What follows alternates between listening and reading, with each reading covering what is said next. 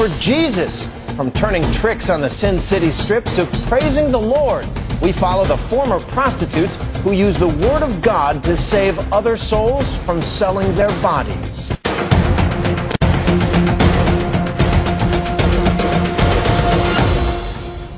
They call Las Vegas Sin City for many reasons, among them a notorious sex for sale industry that runs around the clock.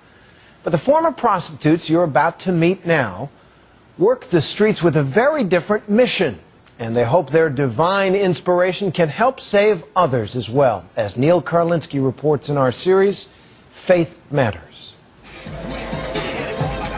Beneath the bright lights of Las Vegas, down there on that famous boulevard known as the Strip, a most unlikely group of women is doing something utterly contrary to the city's proud nickname, Sin City.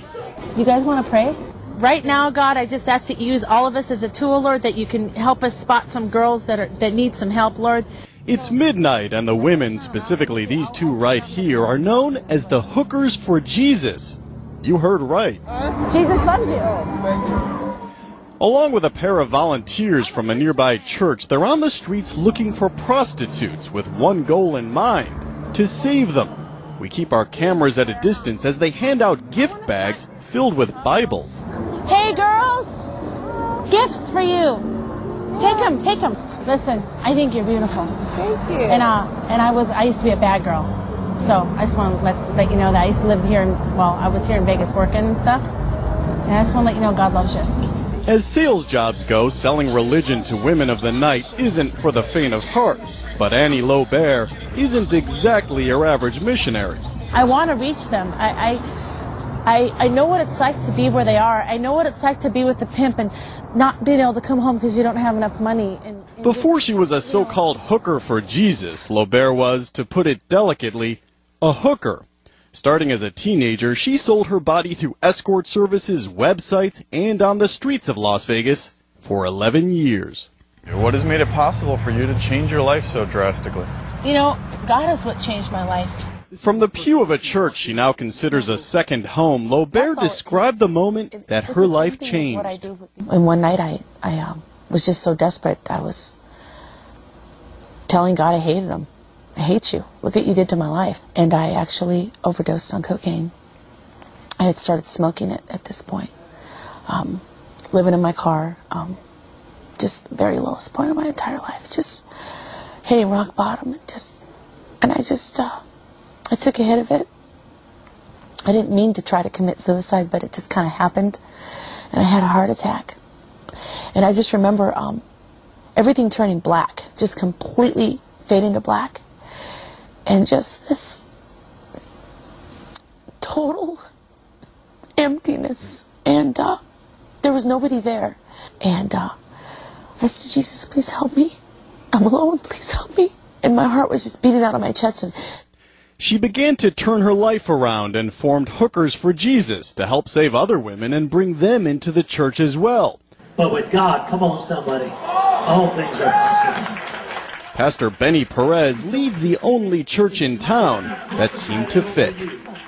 What's a nice pastor like you doing with a flock like this? For me, um, this is what pastoring is about. I got up and I said in our church, I said, uh, we're gonna, we're gonna, you know, reach out and we're partnering with hookersforjesus.net. When I said hookers for Jesus, I mean, there, the reaction is some people are like, did he just say hookers in church? And that was the beginning, I think, of our church having awareness. We're in Las Vegas. This is Sin City. It all sounds so easy. A beautiful former prostitute as a messenger for God, along with her spirited young pastor. The truth of how it all happens isn't so pretty. Sex for sale is an addiction. We sat down with a group of former prostitutes, some who left the life just weeks ago, with help from Annie. And what happened was um, my pimp had broke my jaw, and um, I was on my way to go back to him. This woman, who wants to be called Tammy, didn't want her face shown because she's still afraid of her pimp. She told us about the night she says Annie saved her. And she would call me from the payphone every 30 minutes all night. And then the next morning she came and got me and we prayed and we talked and we got something to eat. And um, I was just really shocked and really surprised that here is someone that had been through what I've been through and did what I did. The world throws us away. And so we have nowhere to go. There is nothing like the peace that, that you get knowing that you had a creator and knowing that because of what you've done, it doesn't define the rest of your life. Leaving the game, as they call it, usually means taking a beating from a pimp and giving up all the money, clothes, and worldly possessions they have. This is the living quarters up here. To help, Pastor Perez and his church have donated this house as a first stop for prostitutes trying to escape their old lives. What is this house? Uh, well, it's a, it's a destiny house. We uh, are starting this house for girls to come out of the industry and as a place for them to actually run to, get them here, and then from here we can figure out what their next move is. Outside the house, Annie and the church are also there to help, but that doesn't mean life is easy. Your mommy's a good cook, huh? Stephanie, who we met on the streets looking for other prostitutes, lives in this tiny apartment with her three year old daughter and three month old son. If I didn't have Annie in the church behind me, you know, keeping me accountable, you know, telling me it's going to be okay and, you know, you're, you don't need to go back, I, I'd have went back a long time ago. A long time ago. Really? Yeah. It's that hard. It is. I'm tempted every day. I was tempted last night. You know, I seen a couple guys, you know, walking by themselves, looking at me. I was like, ooh, he looked like he got some money. I went from making 1500 2000 you know, 2500 a day, you know, in just a few hours to making 850 an hour. Like that's what like 50 60 bucks a day. But I mean, it's it's not worth going back. It's not worth losing the self-respect that I've gained from it. There's a lot of shame associated with being a prostitute.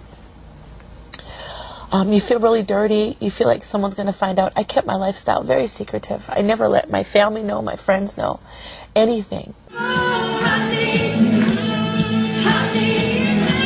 Afraid no more, on a recent Saturday night in church, the women must have thought this one of their stranger weekend escapades. And just maybe, their most important. How many ever felt condemned? After all the men, beatings, and fear, this night was like a visit to another world. And that calling card of their old lives, the feeling of shame, was forgotten, at least for a while. Remember Tammy? That's her with Pastor Perez. In Jesus' name, He's going to help you. Here comes the peace. Watch. Ready? The truth and the life. And I accept Him right now. Do you think what you're doing now is this your life's calling? Yes, absolutely. This is what I was meant to do. Here I am, worshiping you. They are still daughters. They are still sisters. They're human. They're real. They're not some rejected tramp or some rejected leper, leper that can't be loved. God, open our Yes, eyes. Women of the night in from the street and looking for a second chance. I'm Neil Karlinsky for Nightline in Las Vegas. The Lord works in mysterious ways. Mysterious ways.